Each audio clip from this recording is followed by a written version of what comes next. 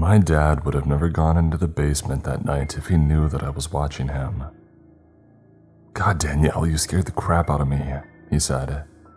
I knew that he didn't expect to see me because he tried not to swear when I could hear, but he did it twice. Also, he was dragging a heavy load in a white sheet that looked like it had blood on it. It was dark in the kitchen, but there was enough light coming through the open basement door to make it pretty unmistakable. I woke up to get a glass of water, I explained. What are you taking downstairs? He looked down at the long, heavy object that was wrapped in the sheet. Um, it's a new carpet. For the basement? Yes. We don't have carpet in the basement, which is why we need this one. Go to bed, Danielle. It's a school night. I was pretty sure that he was a lying about the carpet, like almost completely certain. Parents think they can get away with lying to their kids all the time because they forget that growing means losing what we used to believe, and we're growing all the time. I tried very hard to listen to what was happening in the basement, but my bedroom was on the second floor and I couldn't hear a sound which is much worse than knowing everything. I got home from school at 3:45 every day, and dad never came back from work until after 6. I didn't want to check the basement alone, but we all do things that we don't want to do.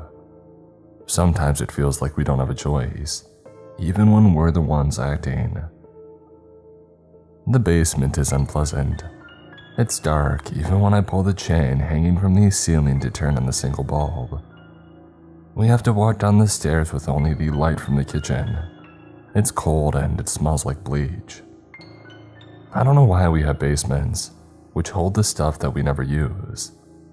Dad should have just thrown away the workbenches, the barrels, and the tools that he told me not to ask about. I'm not sure what I was looking for, but I hoped that I wouldn't find it. The concrete floor was clean, very clean, but the stands and the workbench had always been there. The basement still had no carpet. I bent down to search the floor. The coldness rose up from the ground and made me shiver as I got on my hands and knees. But the floor was spotless. If I was going to find anything, it had to be around hidden corners, and it had to be now. Daddy wouldn't be happy if he knew that I was in the basement, so I could only do this once. I pulled back a dirty sheet that was draped over a bench and I reached my hand into the darkness. I felt something. Dragging my hand out, I kept the objects covered, not wanting to know. And then I heard a car pulling into the driveway. Mom was home and time was up. So I scooped the objects and held them close. They were teeth, grown up teeth because they had some silver parts like Daddy has. I felt ashamed when I looked at them. They reminded me of how far from normal I really was. I slid the teeth back behind the sheet and I ran into the kitchen before Mom got inside.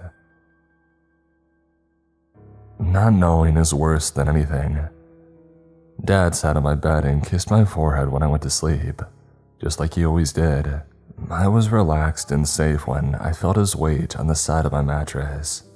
But we all want our innocence broken, otherwise, we would keep it forever. That's why I was hiding behind the sheet in the basement after he put me to sleep. I didn't want to be alone in the dark, and I didn't like knowing the teeth were on the ground next to me. But Daddy clearly didn't check that corner, so it was the safest place to hide. Staying quiet in a dark place is the best way to hear voices. Mom says that it isn't ghosts and that it's just our imagination going wild when all distractions are gone. But that just proves that she doesn't know what ghosts really are. My jeans and sweater didn't keep me warm. I couldn't stop shivering and I wanted to leave. But then the basement door opened and I really wanted to leave, but it was too late. Our desire is always the strongest in the moment that we realize something familiar has become out of reach. Stab, thunk, stab, thunk, stab, thunk. Dad was dragging something heavy down the stairs, Click. I blinked as the light bulb shined dimly through the sheet. I assumed Daddy's eyes wouldn't be immediately adjusted, so I peeked into the room. He was kneeling over another sheet, wrapped bundle in the ground. This one was also bloody. He was sweaty and nervous as he unwrapped it. I had never seen a dead body before, but I knew right away that she wasn't alive. Her skin was the pale color of uncooked mushrooms, and her arms flopped like spaghetti instead of something alive. I wanted to look away so badly. I didn't look away though. Daddy pulled out the saw that spins around in a circle, and I knew that things were about to get gross. I was so disappointed in him. And then her arm moved. The woman's face was still dead, but I watched her fingers squirm like worms coming up from the ground after rain. Daddy didn't notice right away. Things might have been different if he had. He was examining the saw when her arm lifted high. It grabbed his throat like a snake that I had once watched eating a mouse. He dropped the saw and squeezed her hand until his fingers had turned white. But it didn't do any good. I felt like my entire body was in dried cement. I couldn't help him, and I couldn't turn away. I wanted to puke. Her arms came alive as Dad slapped her arm, his lips becoming blue while his tongue bulged. The blood vessels in his eyes changed to pink and then splotchy, and then the white turned red. He got weaker as the punches turned into gentle little slaps, and then he stopped moving. I squeaked. The woman dropped my dad to the floor, and he landed like spaghetti. And then she sat up, pulled the sheet off her body, and turned around. She was completely naked, and every part of her skin was pale. I wondered if ghosts are white because dead people sometimes have no blood in them. Our brains form weird thoughts during the most shocking moments. She stood, walked over to my hiding place, and knelt down. I scooted back, convincing myself that I would be safe as long as I moved to the darkest corner. That works when we're hiding under the covers in our beds, so I decided it would do just as well here. It didn't work. She pulled back the sheet and stared at me as I stared right back. It may have been my very first time seeing a dead person, but I understood enough to know that, that she was still dead, no matter how much she was walking around. I stared back at eyes that couldn't blink. I breathed and she didn't. I wanted to run away, but I was cornered. I shook. You feel alone, she said, but her voice was all wrong. You're not alone. You never are. And then the woman reached out a rubbery hand and cupped my face. Her fingers were like ice, but I was afraid to fight back. It felt like my teeth were vomiting, but I couldn't stop them as my fangs cut through my gums and exposed themselves to the world. I hated it and I was ashamed because they reminded me of how far from normal I really was. Welcome to the night, she whispered as my first tears fell. Now, she continued, looking behind her, there are several options for your father. Are you ready to find out who you really are? I stared at the naked woman who had just killed my father, unable to pin down my emotions, still very confused that she could talk to me despite being dead.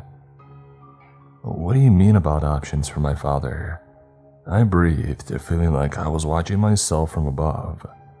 My daddy's dead, right? The woman folded her pale arms. I could see the veins just under her skin spiderwebbing throughout her body like blue tree roots wrapped in rice paper. Dead it doesn't mean what people think, Danielle. Her voice sounded sticky like mud as she narrowed her eyes at me.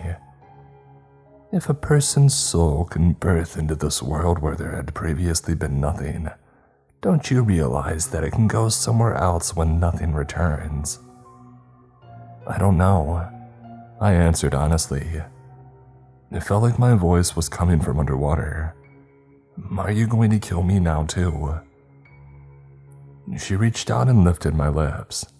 Her fingers were cold, not ice cold, but more like a dead fish that hasn't quite started to sink. You always knew what was hidden inside, didn't you?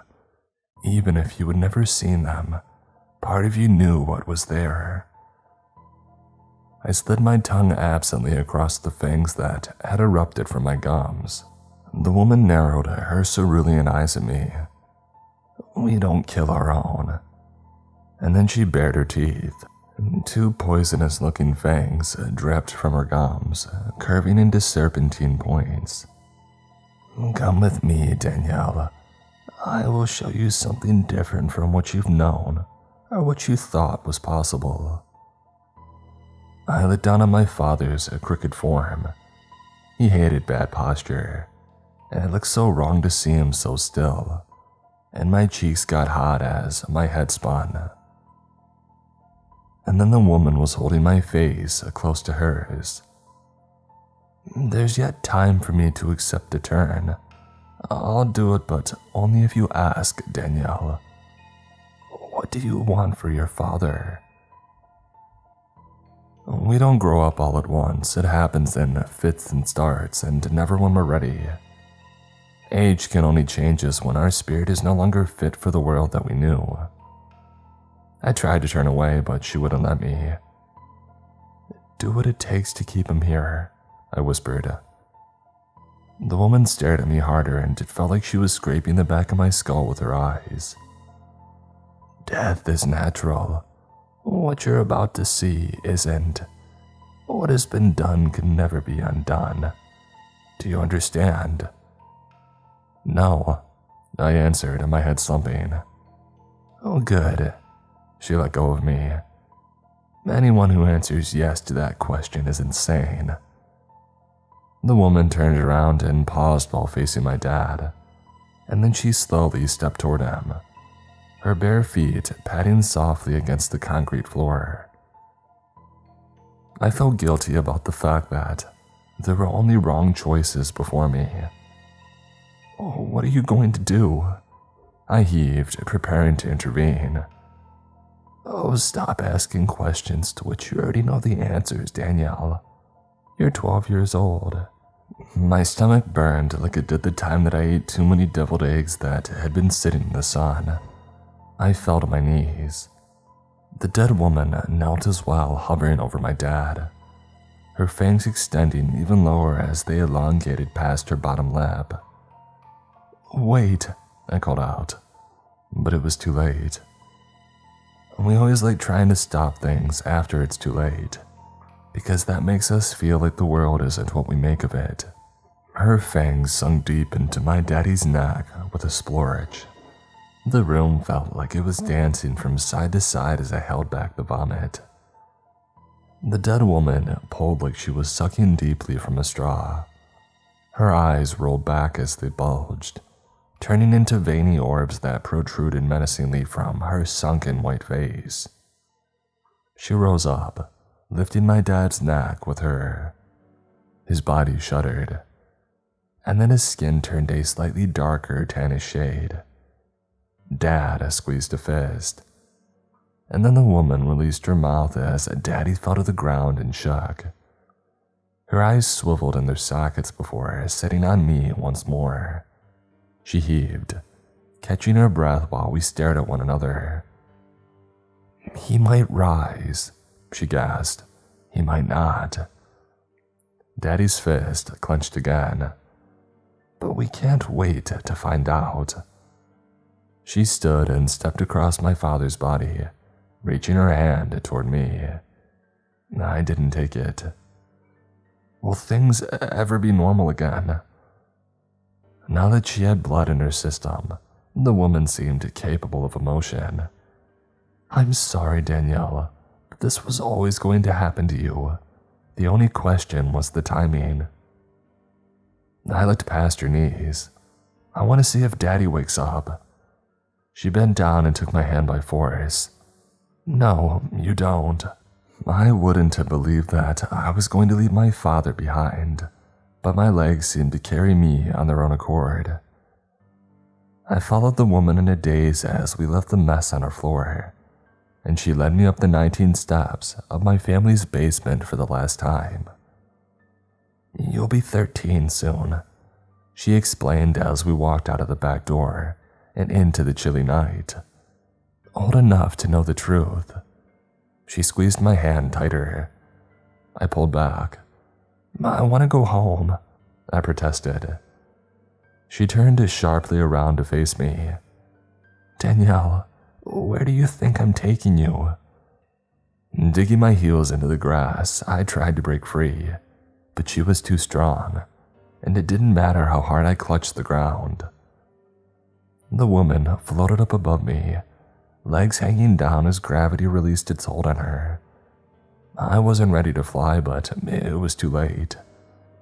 She pulled my wrist after her, and my feet left the grass as my shoulders screamed in pain, the muscles stretching like taffy. As I rose into the air and flew past my childhood home into the night sky. The most shocking thing about flying was that it wasn't shocking at all. While the dead woman lifted above my backyard fence, pulling me behind her, the sensation felt natural. I watched as my shoes floated over the bushes as we floated into the night. I was afraid for my dad, and afraid of him. I didn't want him to be dead or undead or whatever the woman's bite had done to him but every emotion climbed on top of itself as they screamed for my attention. They canceled themselves out, leaving me feeling completely numb as we all drifted. Can't you fly any higher? I asked her. I didn't want to look directly at the woman because her naked and dead body had scared me. My hands were as cold as ice, far colder than any hand should be. No, she responded. I know you must have concerns, but you need to wait until we return to my congregation. Adults often answer questions by saying things that just raise more questions. Sometimes it's easier not to say anything in response and let a person feel like they're right. We floated through the night, and I felt like I was floating through it. The night became a physical presence like water that I could drink or swim in. I was almost surprised when we stopped moving. We had landed in front of a large mansion with no lights on. We stood in thick, dewy grass that felt alive and dead at the same time. I thought about asking the woman if she was cold, but I suppose you don't care about a lot of things when you're dead. Let's go, Danielle, she whispered. The woman pulled my hand, which was still resting in hers. It's time for you to return home. A sudden jolt of fear ripped through my arm and stuck into my chest as I followed her forward. I didn't want to go in, but I couldn't think of any other option, so I obeyed. The house swallowed a noise. We walked up the front steps and through the door, and into a dark entryway with only the pale moon to guide us. Our footsteps made no sound as she led me around a hallway and to an open door. A Light but no warmth radiated from the bottom of the staircase before us. Fear clutched my stomach and snaked up through my throat in the form of a green nausea, as for the first time I tried to pull away. Her icy grip held firm. You need to do this, Danielle, she ordered. The woman moved down the first step, pulling me unwillingly after her. Each step felt worse. I knew that I didn't want to see what was at the bottom of the stairs, but I also knew that I didn't have a choice. I held my breath at the bottom before moving around the corner, telling myself that there was no way it could be as bad as I was setting it up in my mind. I was wrong. A ring of ghoulish looking men and women huddled in a circle at the center of the stone walled basement, each holding a flickering candle that made their pale skin look waxy. Several more candles sat throughout the room, providing the only source of light. Sitting in the middle of the group was a shirtless man kneeling on the floor, with his hands bound behind his back. His brown hair and beard splayed widely about his face. The man's head was bent forward, but he stared up with an angry defiance. Directly across from me, one pale man lifted his arms in greeting. Welcome, Danielle, to Amenity Falls. I'm so glad that you're finally where you belong. My stomach lurched as I stared at him. His voice was somehow low and high at the same time, a sliding discomforting kind of fear up my spine. His most unsettling feature, however, was his eyes. They were pink. I am Kadavru, he announced. We've been waiting a long time to meet you, Danielle. More than anyone, Brooke here has been anticipating your encounter. The bound man grunted but did not budge. The woman finally released me and stepped toward the group. We both understood that I wouldn't run away. You've done everything expected and more, Gita. Kadavru commended as one of the pale women placed a black robe around her, and then he turned to face me. We're looking forward to great things, Danielle. I wanted to cry, puke, and hide, but I couldn't do any of those things. At least 19 pairs of eyes stared at me, and I knew that they could fly up the 13 steps before I got anywhere near the door. Nothing to say, Kadavru pressed. Very well. Your actions will do the speaking for you. The crowd drew back at his words, extending the circle to the stone edges of the basement. Only the kneeling man in the center remained in place. Are you ready?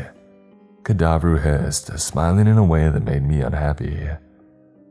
No, I finally announced to the room. I don't know what's going on and I, I think I want to go home. You are home, Danielle, droned a pale woman from my right. She's correct, child, Kadavru pressed his inexplicably pink eyes boring into me. You can't escape this. I wiped my eye. I can't escape what? I mumbled, not wanting to know the answer. Kadavru stared at me a moment longer before, drawing a knife and approaching the kneeling man, Brooke, from behind. My breath stopped as he raised the knife and slashed. Brooke's arm burst forth as he leapt to his feet the now severed rope falling to the floor. Kadavru backed away with a sinister smile. Brooke looked around wildly, like an animal trapped in a cage, at the people encircling him. I stepped back, pressing my arms against the cold stone wall. Brooke is the reason that Gita ended up in your father's basement. He's also the reason that she will never see her daughter again. Brooke whipped around to stare at Kadavru, looking ready to murder him. Danielle, the moment is right and the man is right. We're excited to share this with you.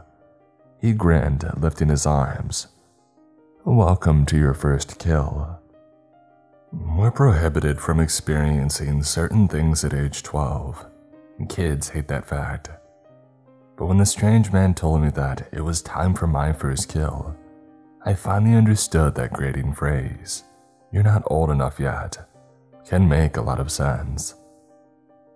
Brooke turned around and scowled at Kadavru. This is why, he heaved. This is exactly why you're filth.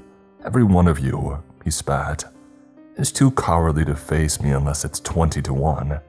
And even then, even then, you're afraid of me and send a little girl to do it.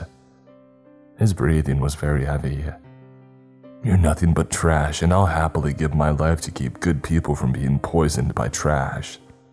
That's why the world is better off without her daughter. He finished with a whisper, pointing at Gita.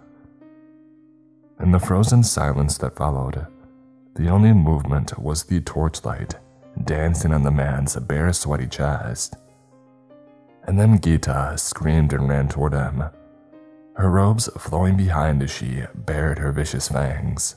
What happened next was so quick that I had to replay it in my mind three times before I understood what had happened.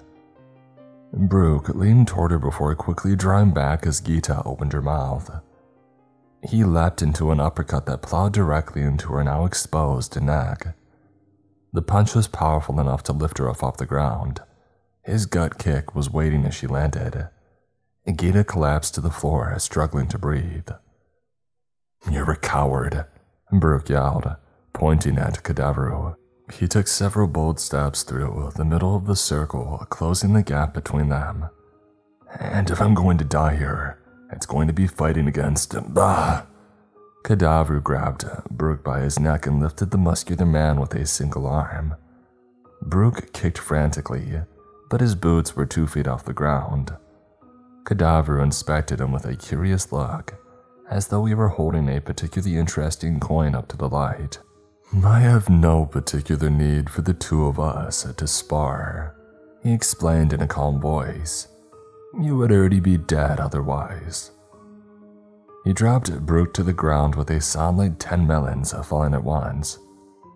Brooke struggled to pull in air while failing to draw himself into a kneeling position. Nearby, Gita was on her hands and knees, staring in hate as she slowly regained her breath. A chill ran through me as I looked across at Cadaveru, who stood over the group without any hint of emotion or movement. You're wasting your time in fighting the inevitable hunter, he explained in the same deep and controlled voice. You can resist what's foregone, or you can do what you've come here to do. Brooke rolled his head to face his enemy, and then Cadaver pulled something from inside his robes and dropped it to the stone floor with a clatter. One wooden stake, 19.13 inches, carved to your exact specifications, he explained. You can have it if you face the task for which you have been brought here.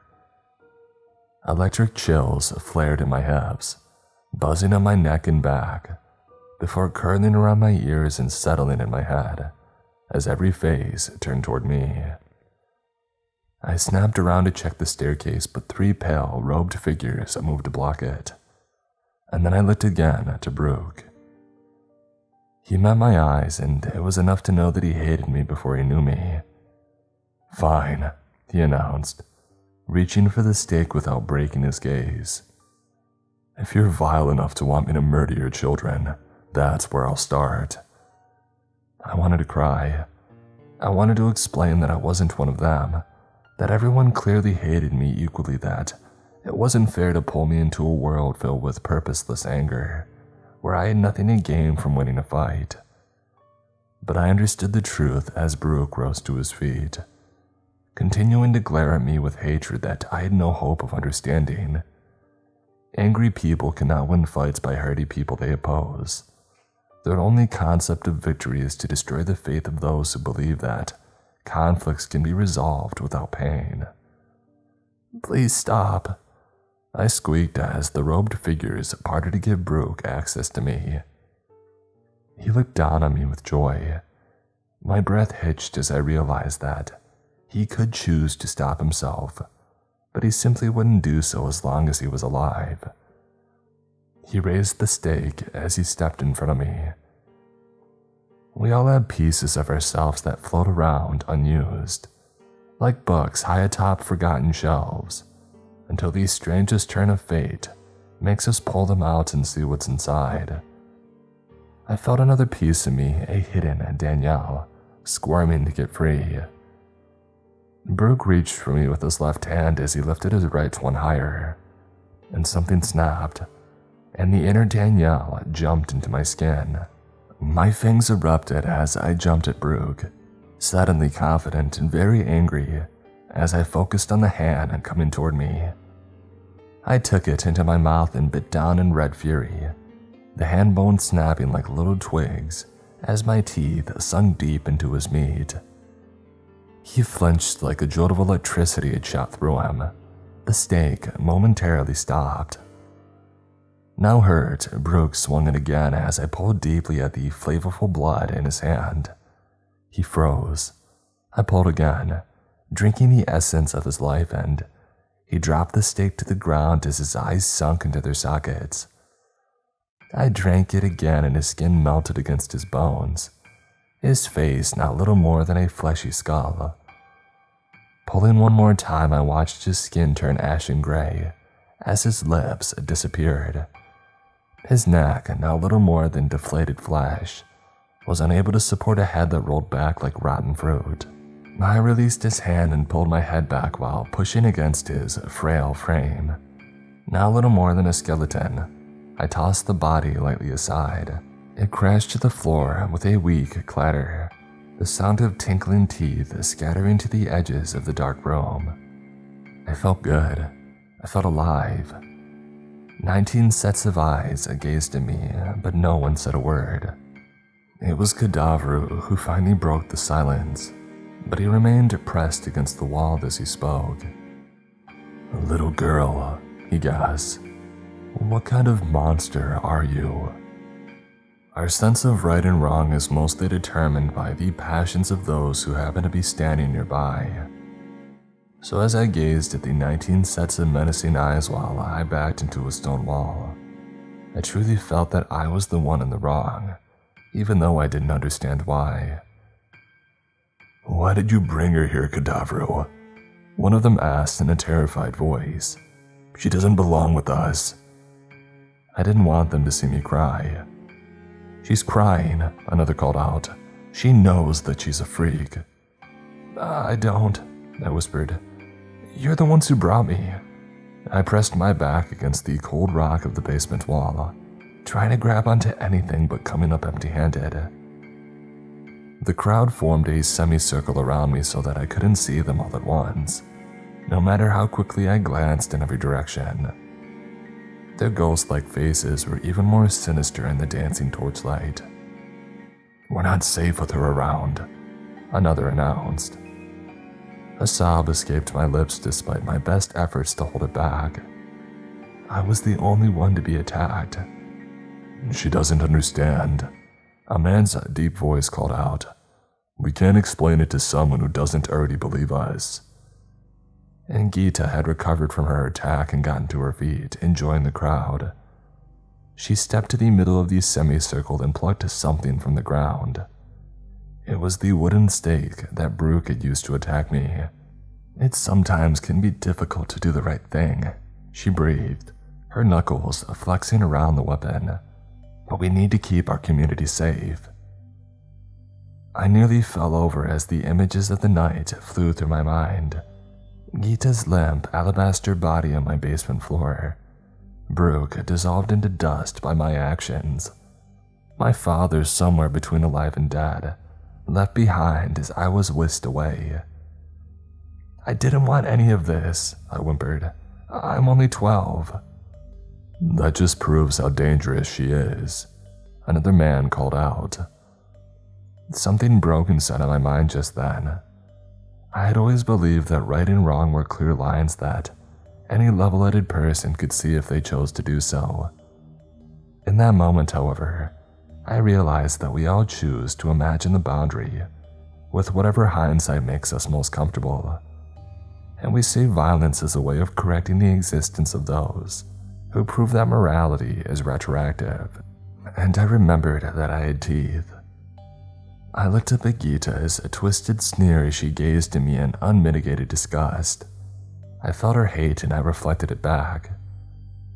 I had never learned how to pull my fangs out, but instinct guided me as I dropped them down and hissed. She let go of her stake and staggered back. Adrenaline flowed through me as I realized that I didn't have to hate myself as much as they hated me. I might even be able to run out of the basement if I could just get past the crowd. Turning to the steps leading out of this place, I gauged the strength of those who stood in my way. They all scurried aside before I could form another thought. They were afraid of me. I loved and hated myself for understanding this fact. That paradox mixed with the decision that I didn't want to make, but had to act on immediately. Racing up the stairs, I could save myself but it would also require embracing the ugliness of believing that I was at my best when feeling like a living pestilence, The alternative was to let them hurt me, which has a hypnotic appeal when you're made to feel that our spirits are intrinsically disgusting. All of this was felt with emotions and no words. It would take years to articulate even to myself what I had experienced in that moment. I hated myself and I ran. Up the stairs, into the hall, and out the front door, and into the night.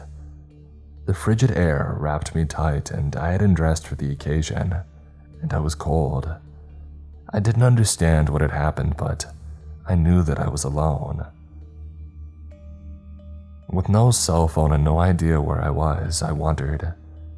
I lost a lot of things that night, some all at once and others bit by bit as I traversed an unfamiliar city. I had always believed that life had strict boundaries and that certain lines could never be crossed. One of those false convictions was that somebody would always take care of me. But passing street after street in the unforgiving chill, it stripped that away. I cried. I was at the intersection of 19th and 13th when I decided that anyone who really cared about me would have been by my side while I was alone. And then I turned to the left and saw myself reflected in a store window. For the first time in hours, I smiled. It revealed two tiny things when I took the time to look hard enough. The sun was almost ready to peek over the gray sky morning when I finally recognized the street that I had been walking.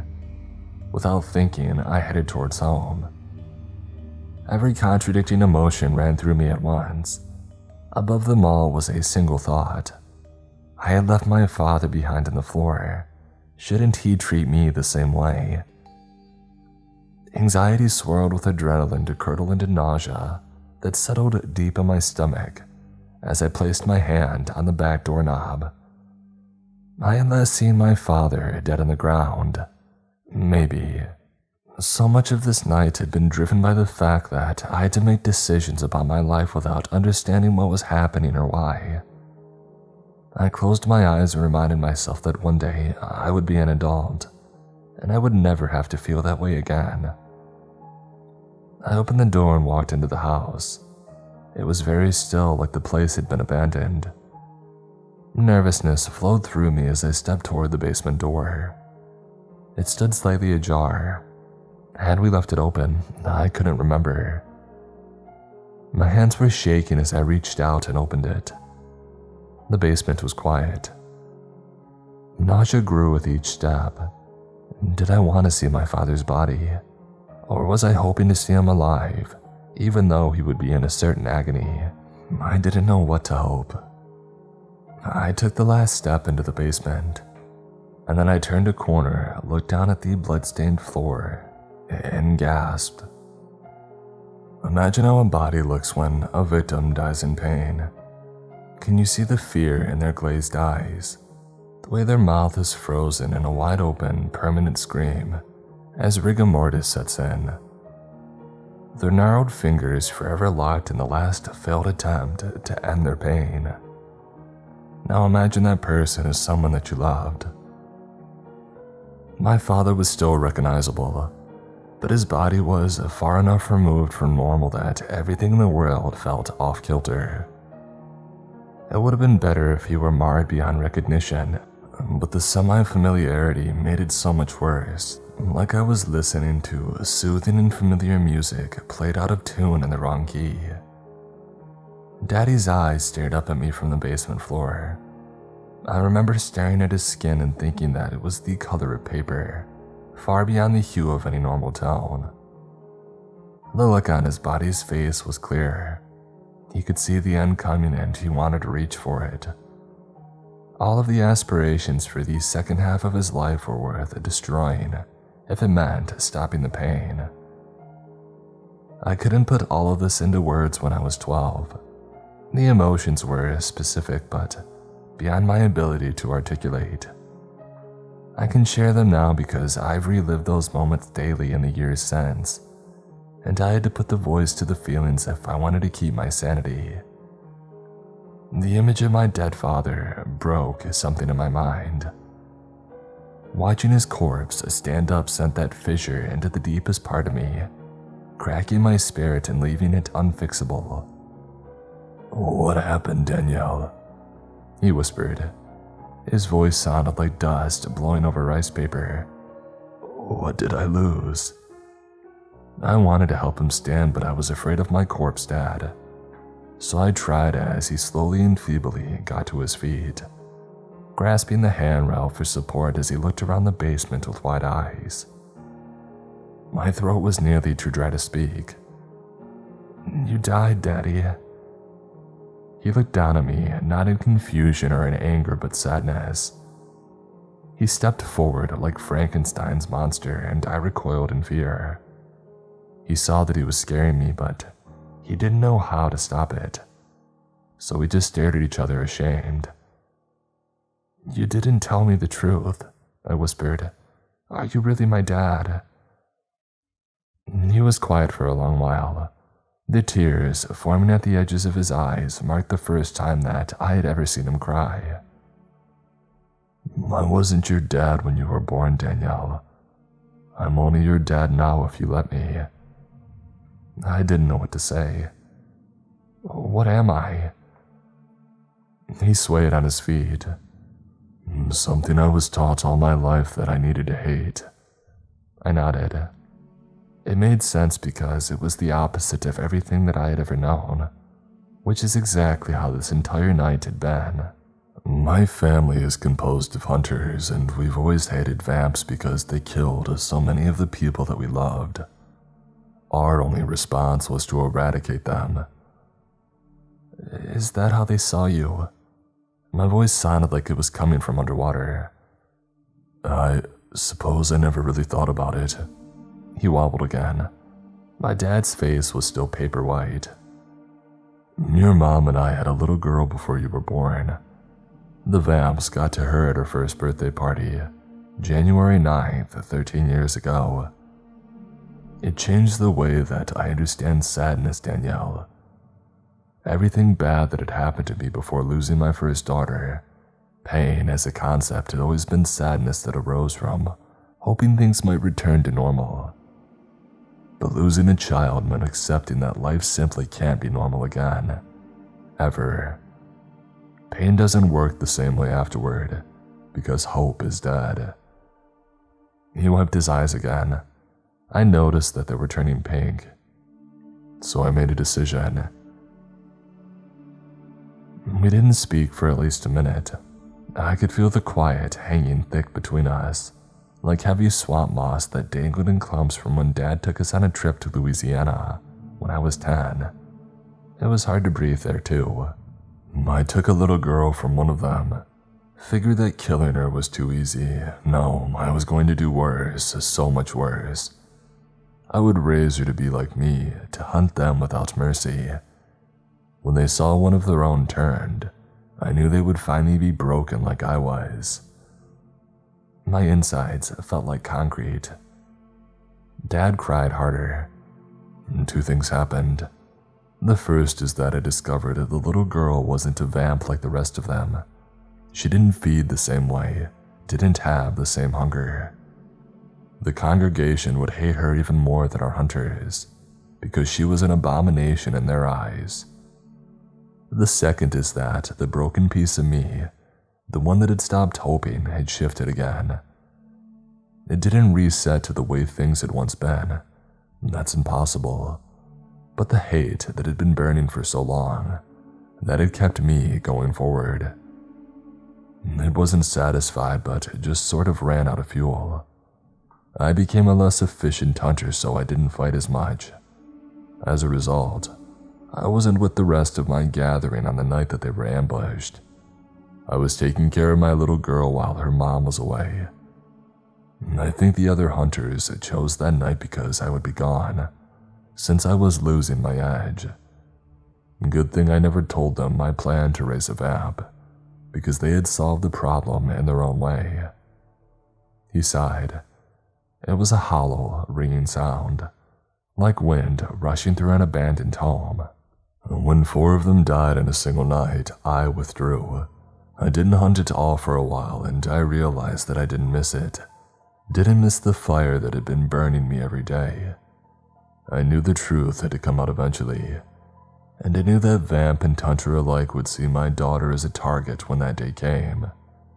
Um, but she was the best thing in my world, so I decided to live the best life we could with the time that we had left. He stopped talking and he looked at me. I stared right back. So, he asked, his voice nearly caught in a sob. What do we do now? I stared at my father, neither alive nor dead, watching him sway on his feet. Our minds go to strange places in the most intense moments of our lives. I remember how drafty the basement was. I was tired but didn't want to sleep.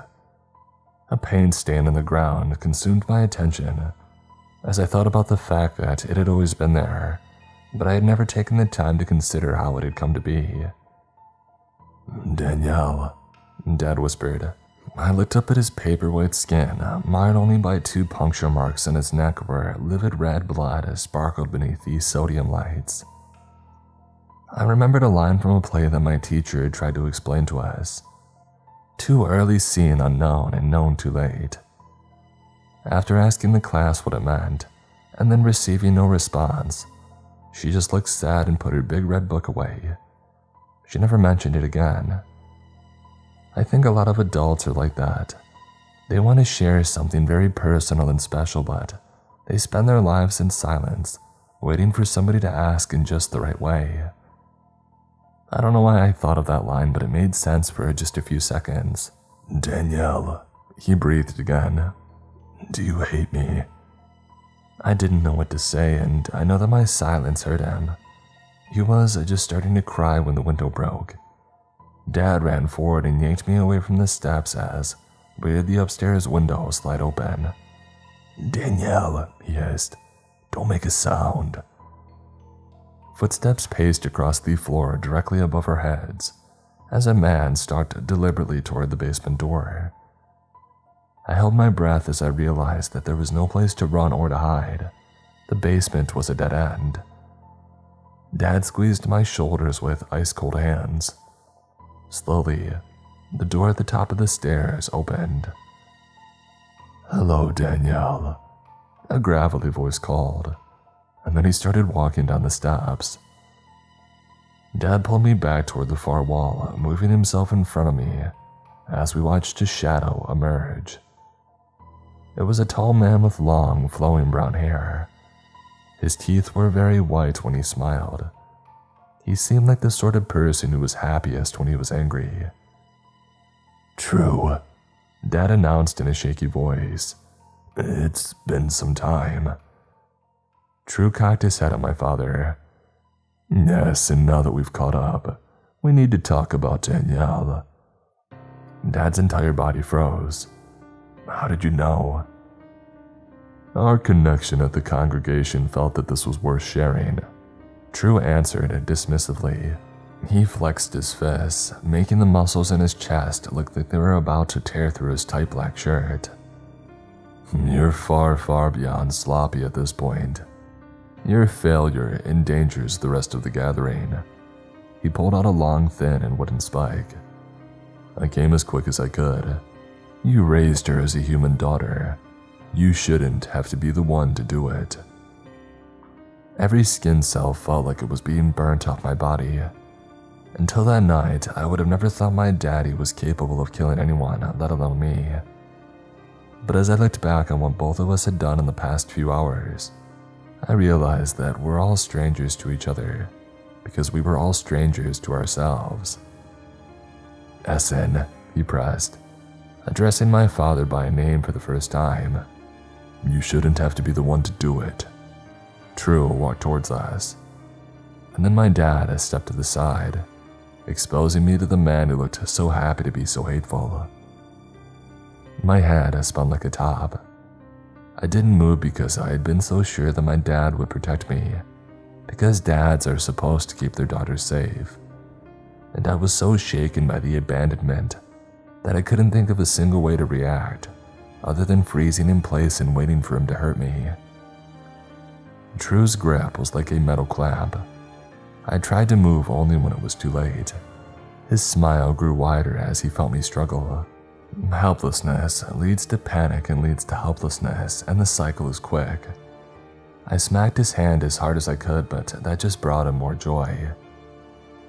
Do you know why our stakes are exactly 19.13 inches? It's a very important number. He asked, holding the pointed stick up to my face. I cried. His grip snapped away quickly as his hands grabbed a throat that had just split like the doughy skin of a dumpling.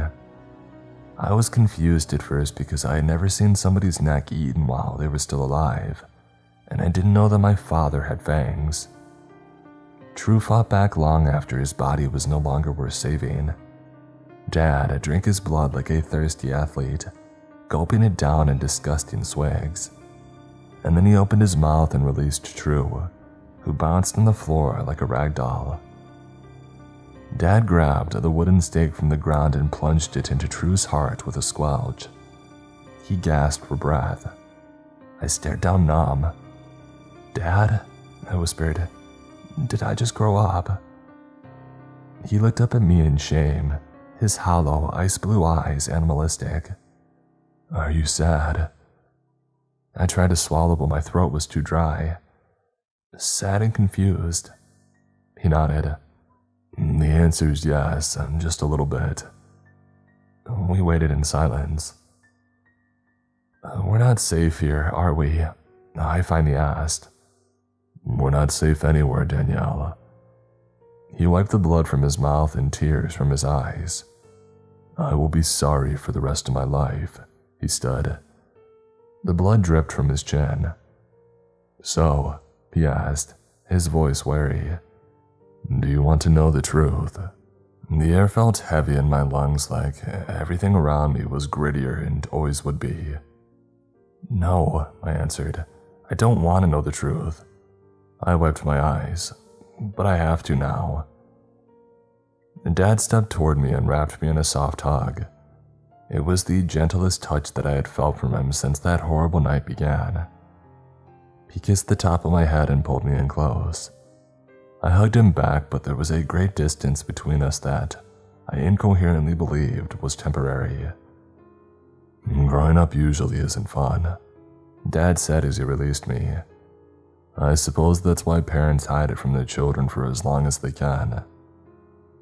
I stared around at the stark basement, the bright lights and the blood on the ground. Oh, will we have to run away? I asked. My voice sounded like it was coming from another room. Dad wiped his eye. Yeah, he folded his arms. And I don't think I'll be able to go with you. My stomach turned cold. Like every organ, had changed to stone at that exact same time. Dad looked at me but didn't face me. I achieved my first kill at 19 because I had been planning for it since I was 13. Danielle, when you believe in a cause, it has a way of becoming its own justification even when that cause works against the things that led you to it in the first place. He shuffled his feet around at True's spreading blood. Our gathering, that's the name for a group of vamp hunters, made a deal with a very dangerous man. He gave us information and money to help us hunt. It was never enough to give us what we wanted, but always just sufficient to get him what he needed. We took it because we believed that we were right. He wiped his other eye. I convinced myself that he wasn't doing the exact same thing for the congregation. That's a group of vamps that we were hunting. I had to make myself think that, because I knew the truth would destroy my belief system, and I had already hurt too many people to question whether I was wrong. He squatted next to True and rested his hand on the man's bloody brown hair. Why was the dangerous man giving you money if he was tricking you? Dad smiled, and I had never seen him look so sad. That's the best way to control someone, Danielle. I didn't understand. Who is he? Dad slowly turned to face me. Alistair Delora. Remember his name, Danielle, because he already knows yours. A finger of hot nausea tickled the back of my throat. Why would he care about knowing the little girl's name? Dad's lips drew thin as he stood. It doesn't matter that you're a little girl. If you have something that he wants, then you're just an obstacle. He ran his fingers through thinning hair. I always knew that, I always saw it, but I chose to pretend that I didn't. People who make those mistakes are rarely the ones to pay for them. I'm so sorry, Danielle. So, let me get this straight. I shot back, my eyes suddenly molten hot. The hunters want to hurt me because they think I'm a vamp. The vamps want to hurt me because they think that I'm not. And the dangerous man is coming for me because I'm in the middle. The heat spread across my face. I felt like I was melting from the inside out, and that everybody would be happier if I dissolved into nothing. In that moment, I was sure that the world wouldn't be at peace until I decided to stop loving myself. Dad turned paler. He handed me the bloody stake, which I took in shaking hands. I didn't want it, but I was sure that I had no choice. What will the bad man do if he finds me? Dad turned away. I don't know.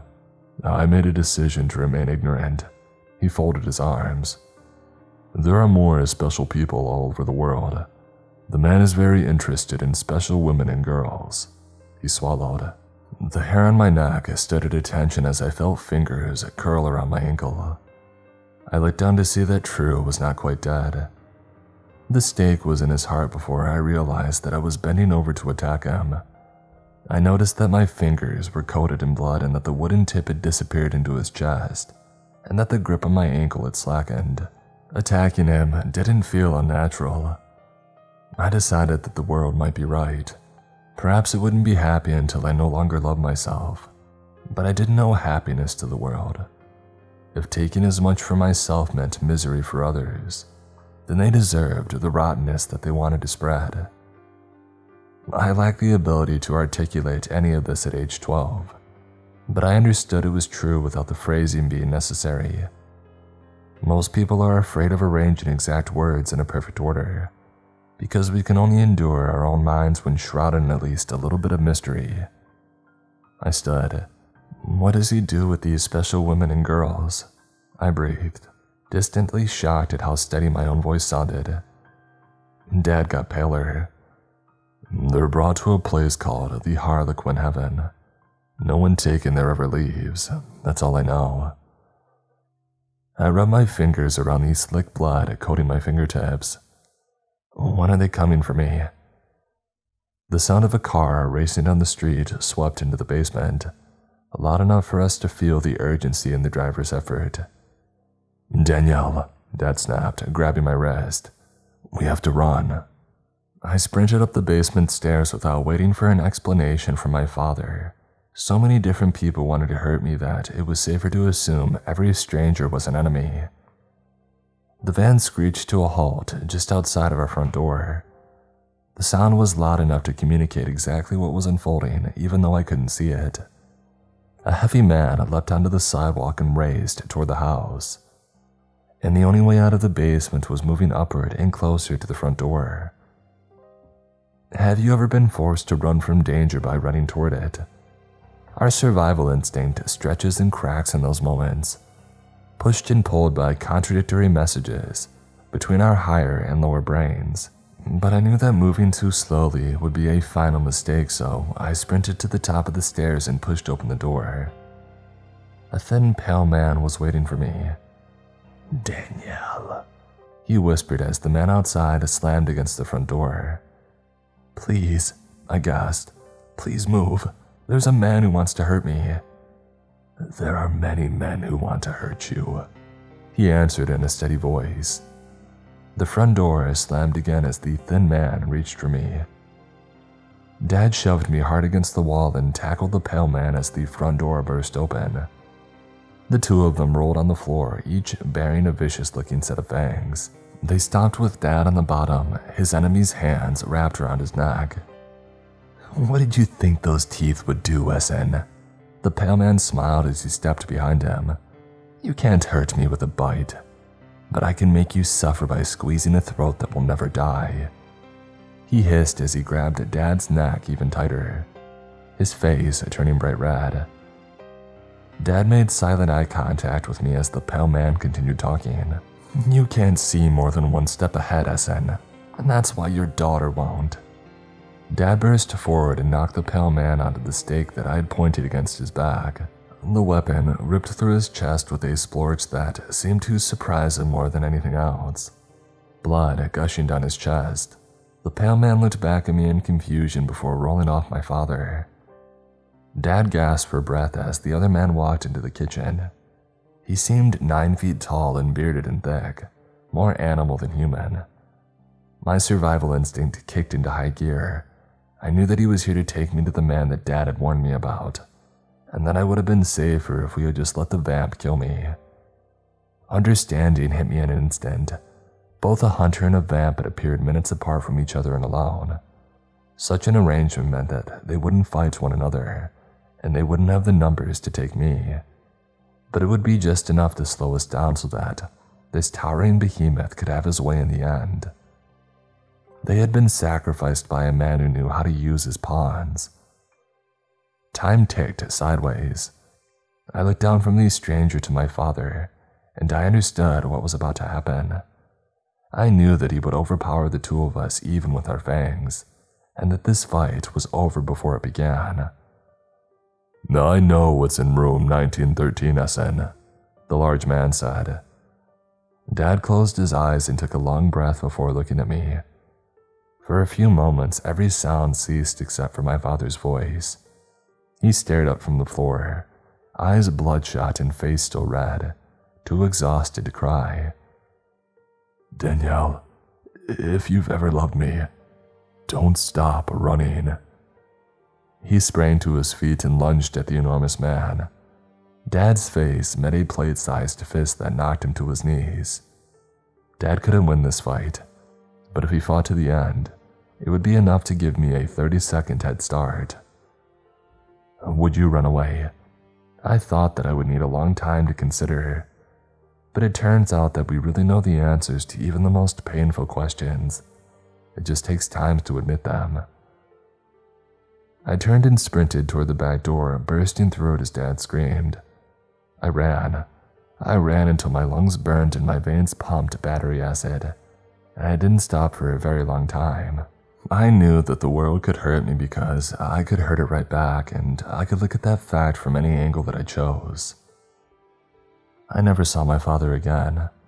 I knew it even then, but wouldn't believe it for a long time. The large man, however, would reappear several times in my life.